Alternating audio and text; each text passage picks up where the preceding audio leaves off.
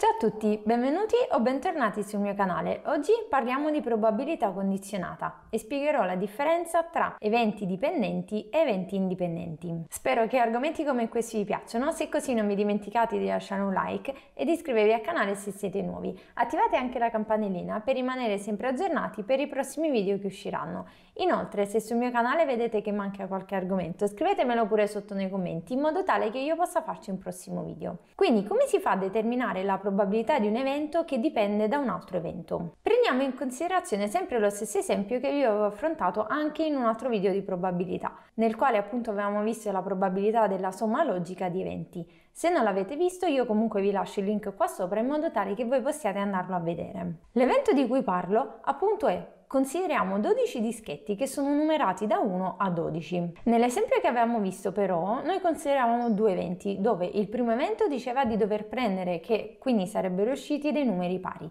mentre il secondo evento ovvero sarebbero usciti dei numeri maggiori di 7. Invece in questo caso prendiamo due eventi diversi dove l'evento 1 ci dice che esce un multiplo di 3 mentre l'evento 2 esce un numero minore di 9. Quindi l'insieme universo U sicuramente è composto da tutti i numeri che sono compresi tra 1 e 12. Quindi avremo 1, 2, 3, 4 e così via fino ad arrivare proprio al 12. Quindi tutti i numeri possibili che possiamo ottenere pescando un gettone dal nostro sacchetto. Invece i casi favorevoli dell'evento E1, ovvero abbiamo detto che devono uscire i numeri che sono multipli di 3, abbiamo proprio 3, 6, 9 e 12. Quindi sicuramente i casi favorevoli dell'evento E1 sono proprio 4. Invece andiamo a considerare l'evento E2. L'evento E2 diceva che devono uscire i numeri minori di 9. Quindi andiamo a considerare tutti i numeri che sono compresi tra 1 e 9. In questo caso quindi avremo 8 casi favorevoli perché appunto partiamo da 1 e arriviamo fino a 8 perché appunto devono essere minori di 9 e il 9 non deve essere compreso. Quindi in questa immagine possiamo vedere ciò che abbiamo detto finora. Abbiamo l'insieme universo quindi tutti i numeri da 1 a 12. I casi favorevoli di E1, quindi dell'evento E1, lo chiamiamo proprio l'insieme A, che è costituito appunto da questi quattro numeri, quindi vi sono quattro casi favorevoli dell'evento E1, invece i casi favorevoli dell'evento E2 lo chiamiamo insieme B e sono otto numeri, perché appunto abbiamo tutti i numeri minori di 9, escluso però il 9.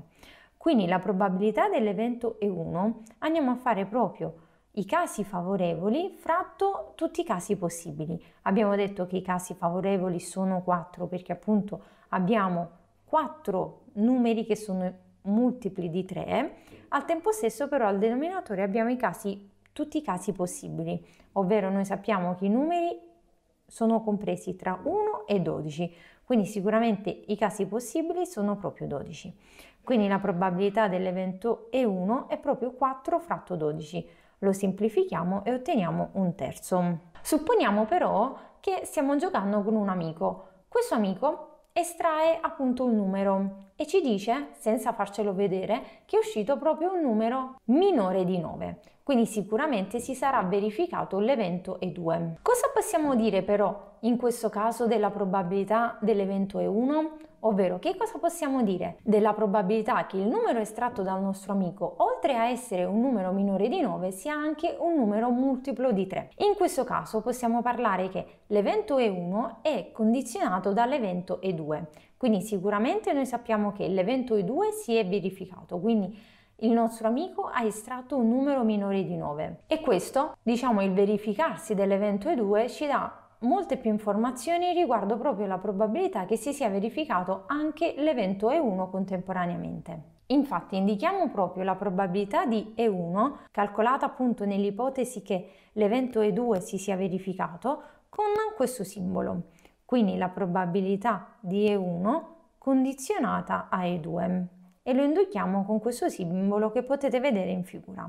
Per calcolare la probabilità condizionata Dobbiamo tenere presente però alcune caratteristiche, ovvero poiché supponiamo che l'evento E2 si sia verificato, allora l'insieme universo, noi possiamo chiamarlo come U' per l'evento E1 condizionato a E2 è dato dai risultati favorevoli a E2, ovvero l'universo, quindi l'insieme universo U' è proprio uguale all'insieme B, dove l'insieme B è costituito da tutti i numeri che sono minori di 9. Quindi abbiamo 1, 2, 3, 4, 5, 6, 7 e 8.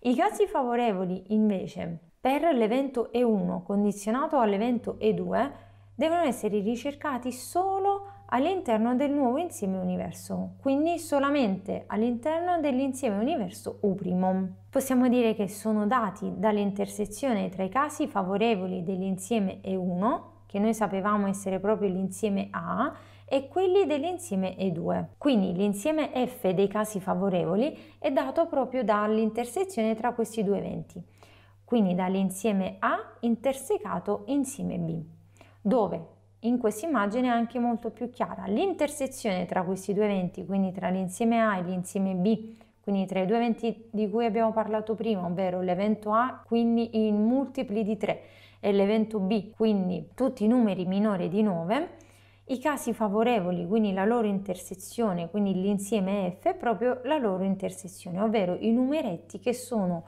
compresi e sono contenuti in entrambi gli insiemi contemporaneamente, ovvero proprio il numero 3 e il numero 6, quindi quel pezzettino centrale tra i due insiemi. Dunque possiamo dire che la probabilità di E1 condizionata a E2 è data proprio dal rapporto tra il numero di elementi dell'insieme F che abbiamo trovato, quindi 3 e 6, e il numero di elementi dell'insieme universo U'.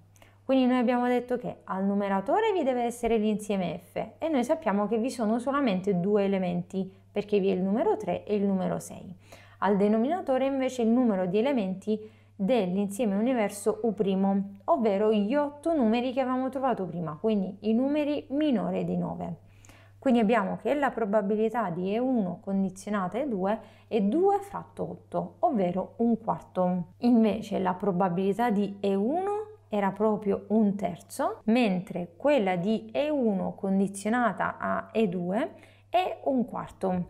Quindi possiamo dire sicuramente che la probabilità di E1 è diversa sicuramente dalla probabilità di E1 condizionata a E2. Vediamo però anche un altro esempio considerando altri due eventi per capire la differenza tra eventi dipendenti e eventi indipendenti. In questo caso prendiamo sempre l'evento E1 che avevamo visto prima, ovvero deve uscire un numero multiplo di 3, ma prendiamo un altro evento, ovvero l'evento E3, dove dice che deve uscire un numero pari. In questo caso supponiamo che invece il nostro amico ha estratto un numero pari, quindi che si sia verificato sicuramente l'evento E3 e noi questo evento lo chiamiamo proprio l'insieme C dove sarà costituito da tutti i numeri che sono pari e sono compresi appunto sempre tra 1 e 12. Quindi abbiamo l'insieme C che è costituito da 2, 4, 6, 8, 10, 12.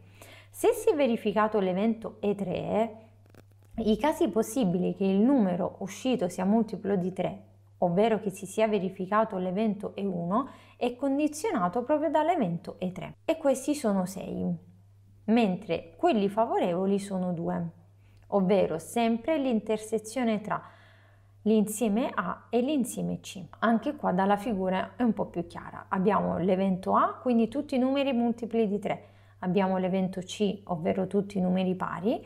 I casi favorevoli, quindi l'intersezione tra questi due insiemi, tra questi due eventi, sono proprio due numeretti centrali, ovvero 6 e 12. Quindi sicuramente 6 e 12 sono al tempo stesso due numeri che sono multipli di 3, ma sono anche dei numeri pari. Quindi la probabilità di E1 condizionata a E3 è 2 fratto 6, perché appunto abbiamo due casi favorevoli e 6 casi possibili. Quindi andiamo a semplificare e otteniamo che questa probabilità è un terzo. A differenza del primo caso, in questo esempio possiamo vedere che le due probabilità sono uguali, ovvero che la probabilità dell'evento E1 è uguale proprio alla probabilità dell'evento E1 condizionato dall'evento E3. Quindi possiamo concludere questo video vedendo proprio la differenza tra questi due eventi, ovvero due eventi E1 e E2 si dicono dipendenti se la probabilità di E1 è diversa dalla probabilità condizionata dell'evento E1 all'evento E2. Invece gli eventi E1 e E2 si dicono indipendenti se la probabilità di E1 è uguale alla probabilità condizionata dell'evento E1 rispetto all'evento E2. E voi avete altri esempi di eventi dipendenti e eventi indipendenti? Fatemelo sapere sotto nei commenti e se questo video vi è piaciuto non vi dimenticate di lasciare un like ed iscrivervi al canale se siete nuovi. Noi poi ci vediamo nei prossimi giorni con un nuovo argomento. Ciao!